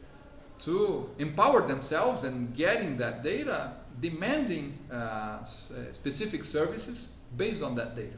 So again, it doesn't, for, at least for our study here, it doesn't matter who's going to benefit. Of course, it does matter, we, but, but, but we will see that there will be collective intelligent, intelligence efforts that benefit uh, just a few, and that the crowds are just the means being used, and there are, there, are other uh, collective intelligence efforts that empower citizens and or empower people. Uh, and we want to check what kind of um, projects we, we think about developing. By the way, we, uh, well, maybe this is a good, considering that I said that we, we have to choose how, or, or think how we, we think that collective in intelligence can be uh, used. Uh, I, I, already anticipate the, the final assessment of this course. I will, you'll be assessed uh, uh, in, in two ways. First, by your participation in the, the Moodle forums, right? So I want you to participate and, and, and participation there means participation with really with ideas. So you have to read to participate. If you the week that I, I know that there will be weeks that for whatever reason someone was not able to read, please remember uh, everyone knows something in this world. We should know that we know nothing about something and be quiet, right? Don't, let, us not mess up with, uh, with uh, a topic that we did not that we, we're not well informed, at least to start a discussion. Uh, but you will be assessed by your, your participation in the, in the forums.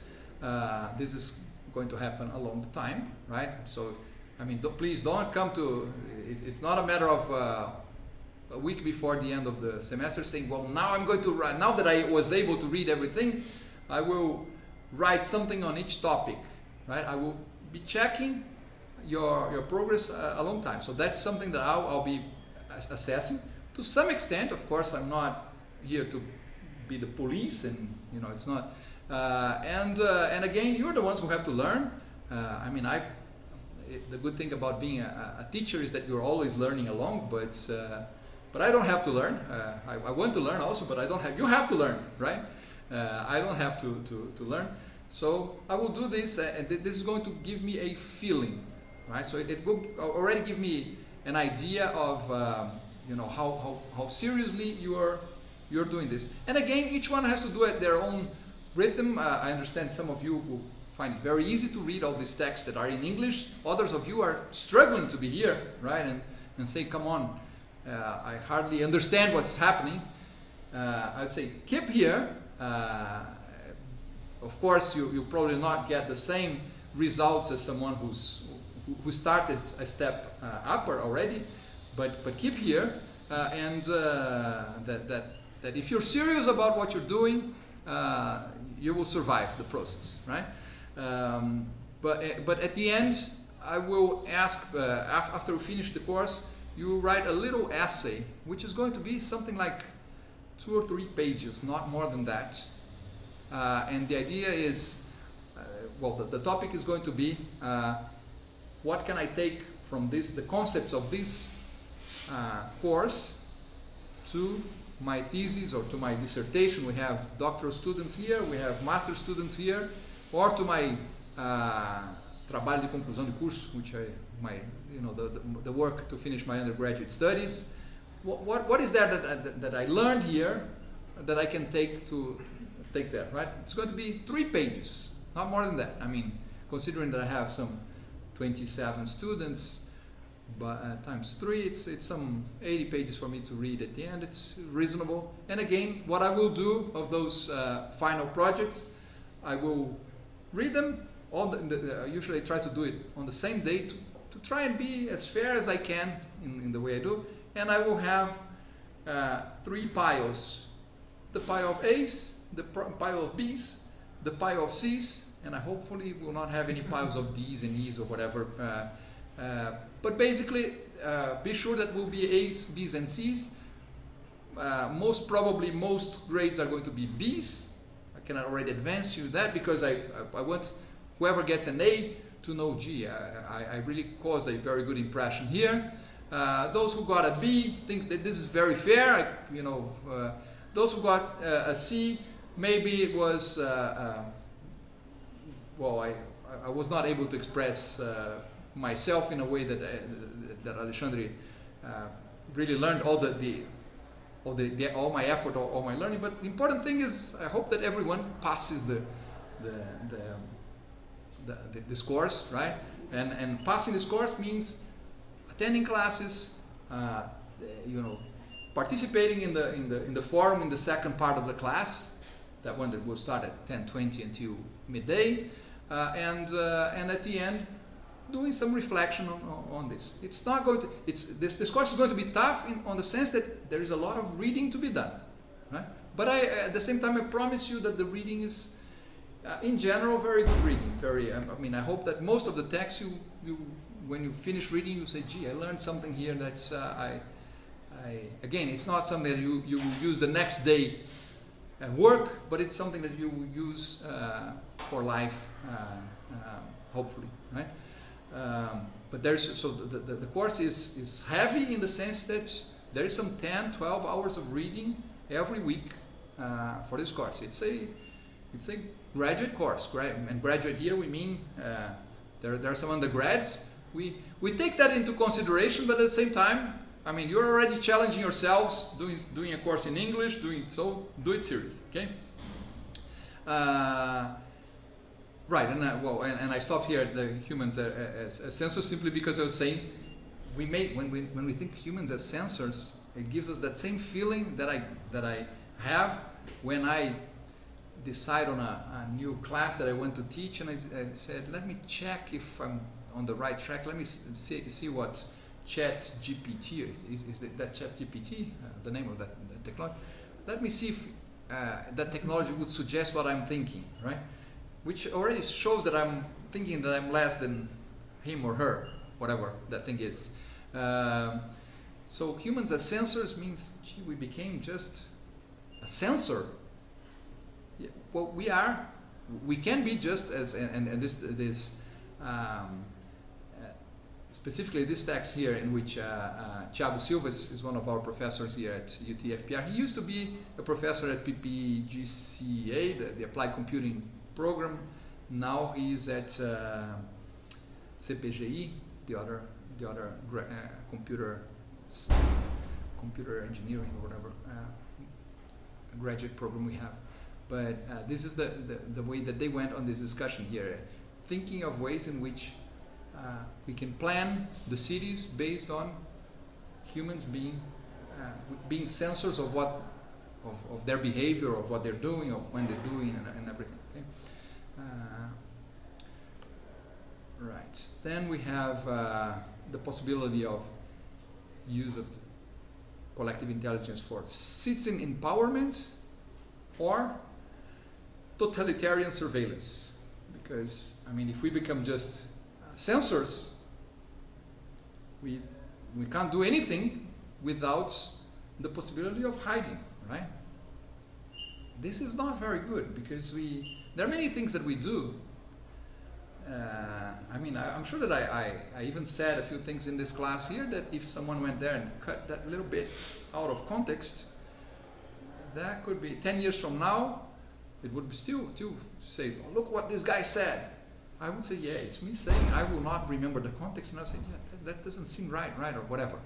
Uh, so whatever we say or whatever we do becomes there forever. Uh, when we become the when we become sensors and when we have technology that keeps and stores all the information that this, these sensors um, collect, right?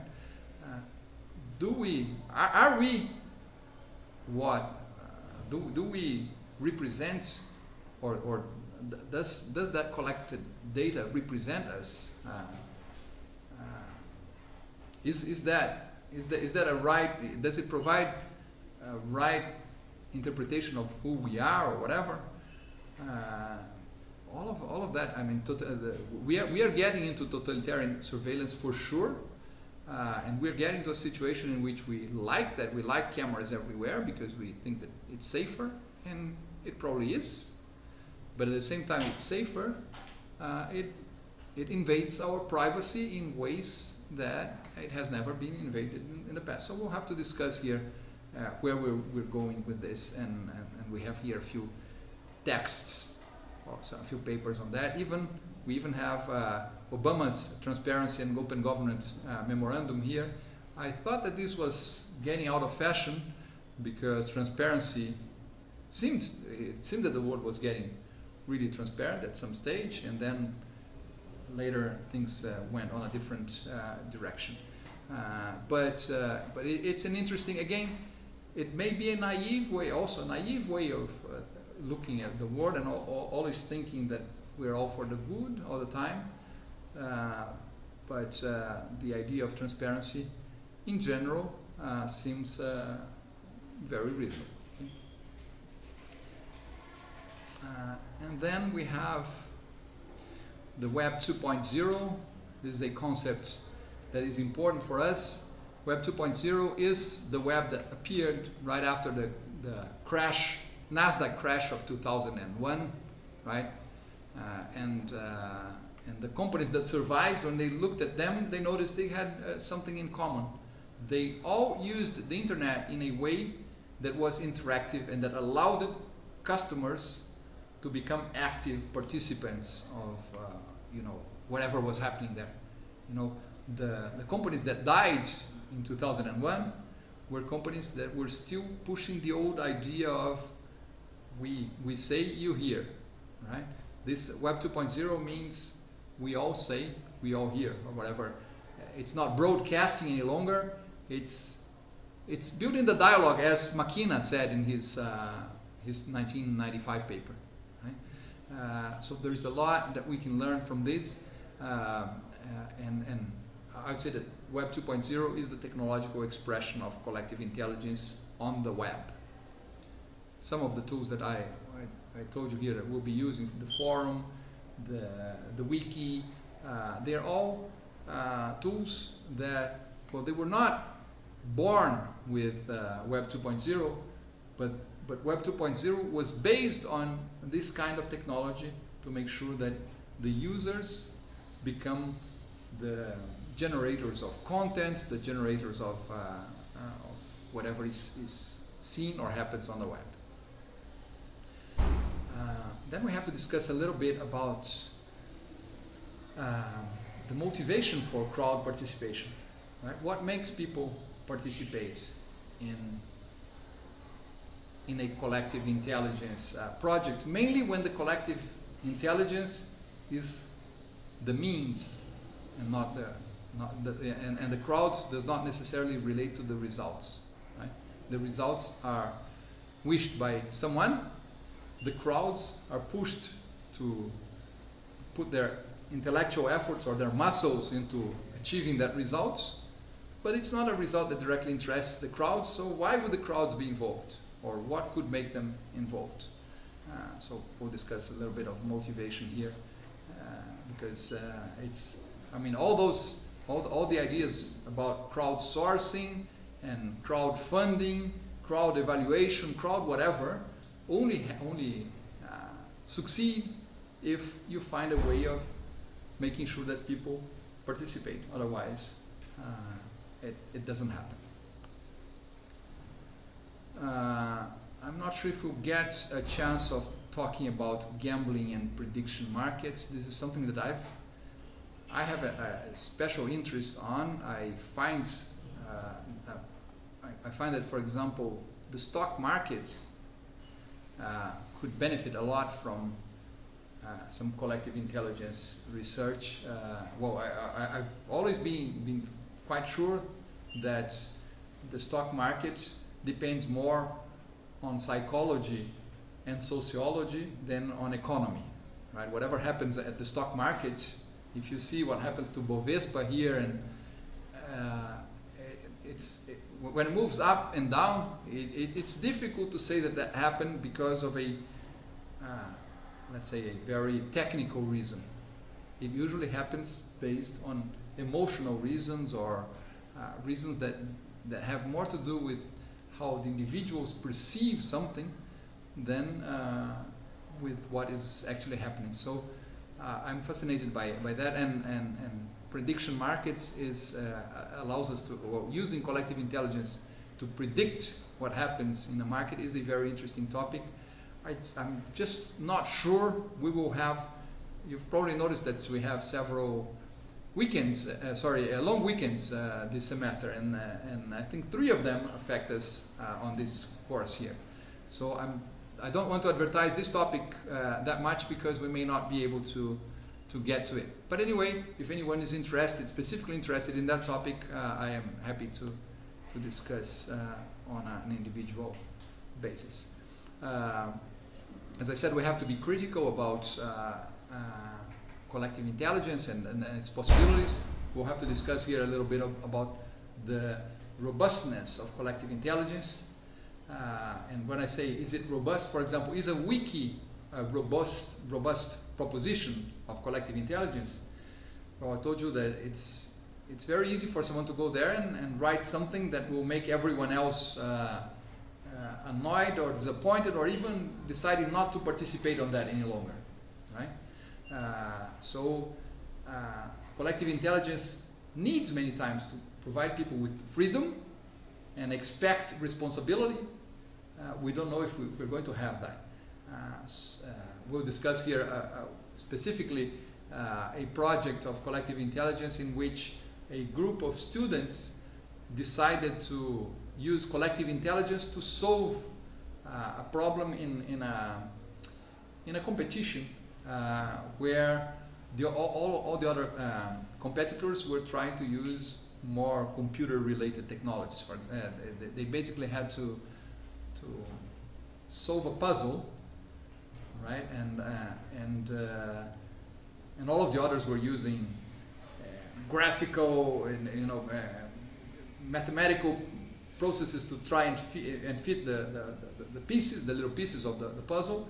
And this guy said, well, we, we can have a lot of humans trying to do that individually, and if we have thousands of them, we'll, we'll fix the, the, the, the, puzzle more quickly than whoever is trying to, to use more sophisticated methods. Uh, they were using that, they invited the crowds, but of course they were only thinking that those who would participate would be there to help them. But of course, some of the competitors got into the thing and started messing up with the puzzle. So there's this discussion of uh, even when we're trying to do good by means of the use of collective intelligence, how strong are we with respect to sabotage, to, to, to people that, for whatever reason, are either not interested in the results that we're proposing, or people that are simply not interested in whatever our society proposes and, and goes against it. So we have to, to think of that because collective intelligence many times requires, I mean, if, if we want to empower people, we have to understand that, that we may be empowering uh, the bad guys as well, right? And so how we deal with that. Uh, and then we'll, we'll try and, and, and discuss a little bit of this new concept that is much less common in research but should be very strong in the future that is do we have collective intelligence or collective stupidity happening here okay well uh, I guess those were yeah here I have a few more links that I've included I hope that none of them is broken if you find anything that is broken you can you can tell me uh, so this is an overall picture of what this course is going to be about. Um, I don't know if you have any questions for now, any ideas? Go on. Oh, I uh, just want to ask you, there are two topics that are hidden from us uh, at the bottom. Um, just curiosity. Let me see. Well, I'm checking this as a student right now. Let me see after robustness. After robustness.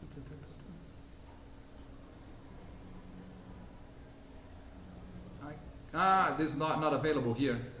Yes. yeah, yeah. Um, well, out of curiosity, uh, I'll show you. In, uh, there's a lot of things that are probably hidden because let me just I have to change my.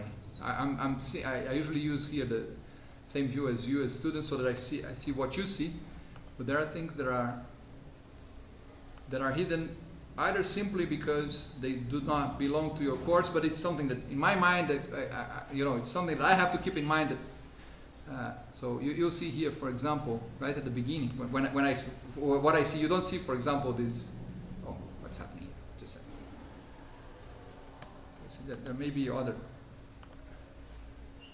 you, you don't see these things here, for example. This is a oh, this is a seminar that I did on intelligence, uh, strategy, and in innovation. And I used uh, and allowed them to, to, to see our, our stuff here in the past. So it may be things like this. Uh, here we have a, here in, at UTFPR, we also have an, uh, an specialization program, uh, how do we call? Uh, curso de especialização, uh, on uh, data science, and they have a, a, short module on collective intelligence. So there, I have here things that I had selected, which is part of what you you have. I mean, yours is much much broader than theirs. So it's see, it's all hidden. Uh, there's a lot of little things here that show us hidden. But but you said two two full topics. Let's see what the full topics are.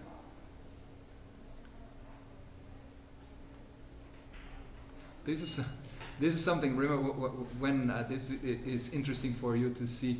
Uh, one week before, or, well, actually, the Friday before, classes were, were canceled here because of the pandemic. I think uh, the last day of February 2020 or something. I was teaching. Um, it was a, a, I was teaching a class, and we were discussing the wisdom of crowds, right? Uh, and then uh, I mean, I, I we'll do something like that with you as well. But we were thinking about uh, collectively, collectively trying to understand what was going to happen. I don't know what happened with this uh, Grêmio against Inter here. That they well, and they said it was that the Grêmio was going to win. Uh, they I don't know why they were thinking that the, the stock exchange was going to go 10%. I, I don't remember what the questions were, but it's interesting that I asked them, well, you know that there is COVID in China uh, and that there is a risk that we will not have classes uh, or that the classes will be, be paralyzed here at UTFPR as well. How long do you think uh, that uh, classes will be, if, if they paralyze classes here, uh, when do you think that that will happen? They, they thought, they claimed that it would, they would paralyze it in, in two weeks from then. It actually happened the Monday, Monday after, this was Friday evening, right? It happened on Monday. So see, the wisdom of crowds was not that great here. And, uh, and I asked how long uh, it would take for people to forget about coronavirus.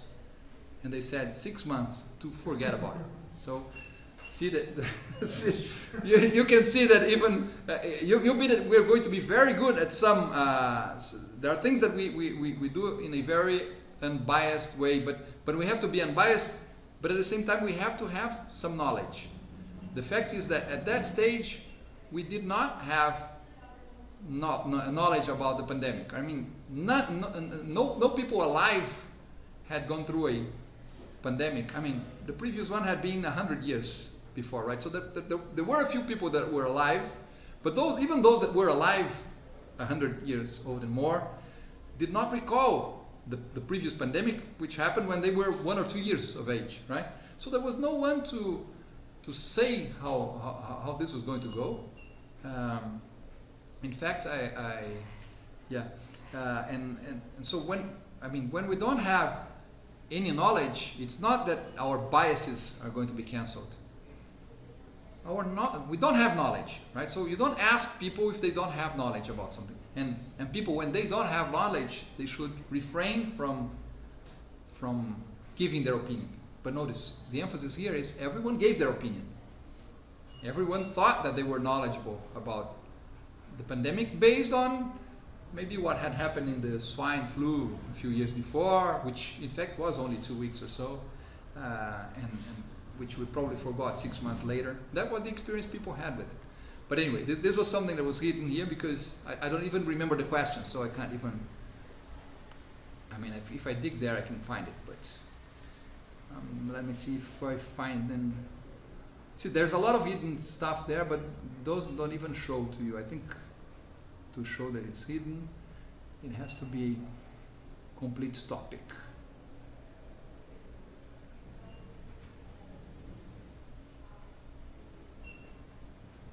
probably here.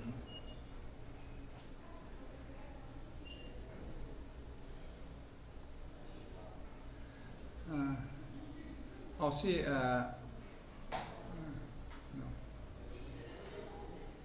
I don't see it as a complete topic, or, maybe it is.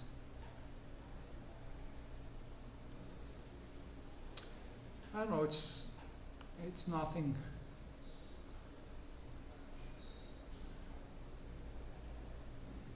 Can't find it. I, I don't know why that, that one is. See, there's a lot of uh, hidden stuff here. But uh, it's right after what? Yeah, uh, robustness. And before the links, give, give me the last thing that is written there before before the hidden. Uh, discussion of the papers. Uh, discussion. Of the papers we read for today. Ah, but the problem is that. But uh, the problem is that this is something that I probably say in, in various. So I'll, I'll just write robust, robustness here. Let's see. So it should be here below this item. See, I have two papers that are hidden.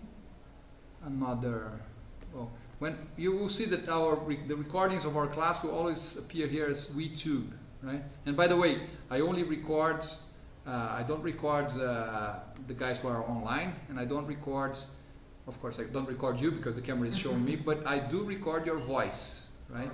But again, this is going to be only for the group. I hope you don't mind.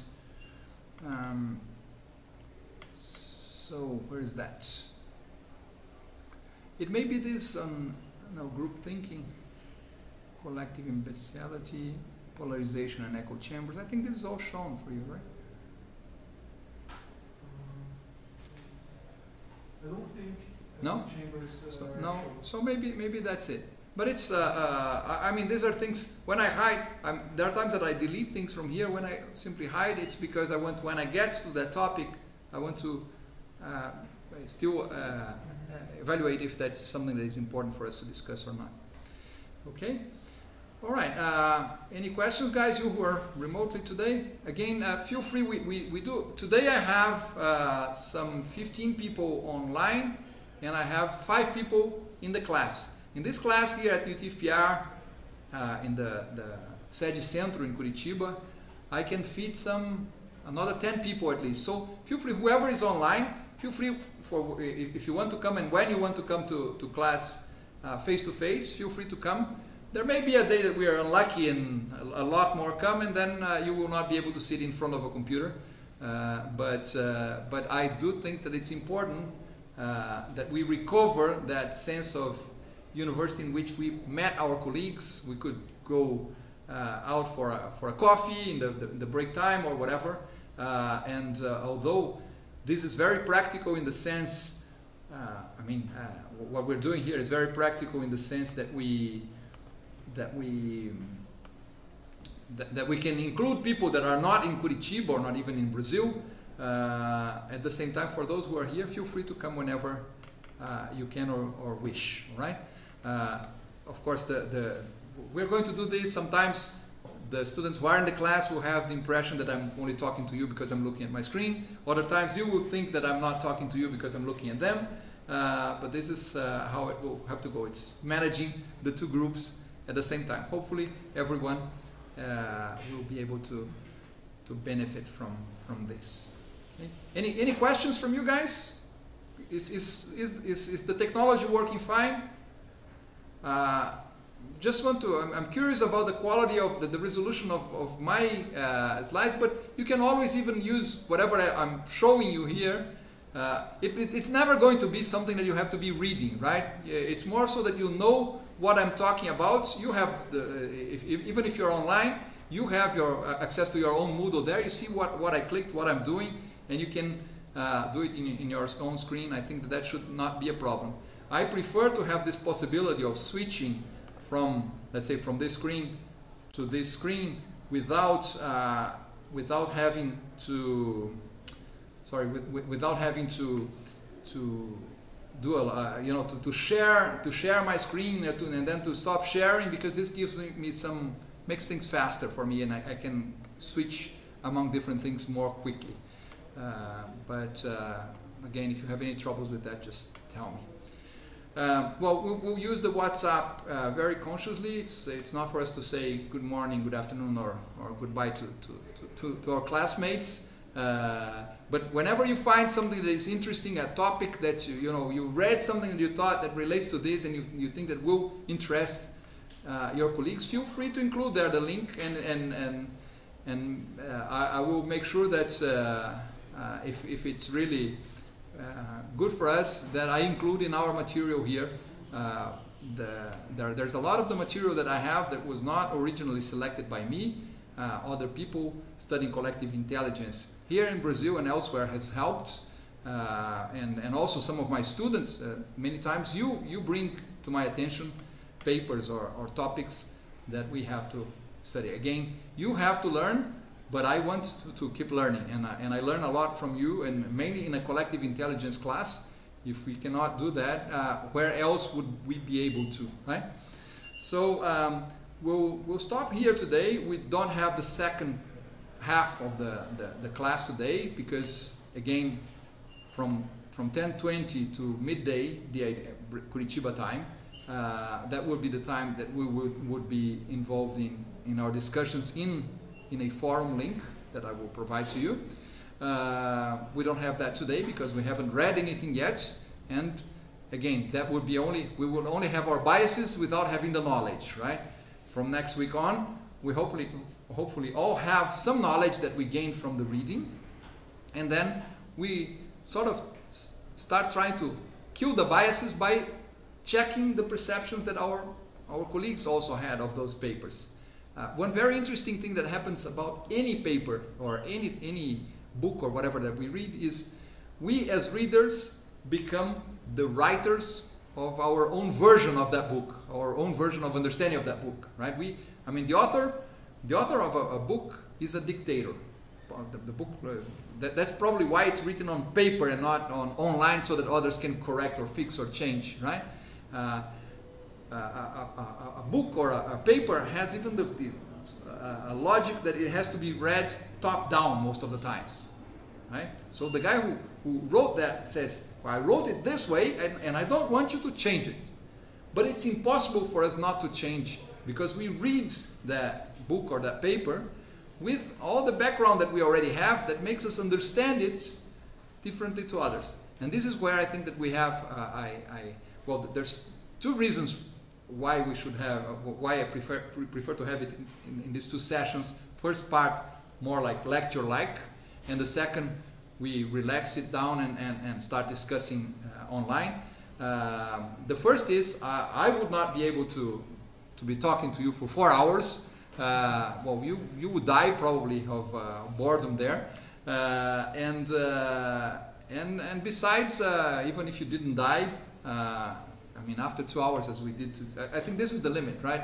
After this, we have to, to think a little slowly, to, to think of different things. But the, the second reason is, as each of us becomes the author of our own understanding of a paper that we read, it's good that when we start discussing, we expose our understanding to others, and others start start start thinking, "Gee, I had not, I, I had not thought of that," uh, or, "Gee, this guy is saying that the, the author said this, I didn't even notice," because sometimes when I when I told you that we all we're all fake news propellers, uh, it means when, when we read something and we agree with that, that gets stuck to our mind and, and, and that reinforces what we think. When we read something that we don't agree much with, we sort of push that under the carpet, under the, the rug.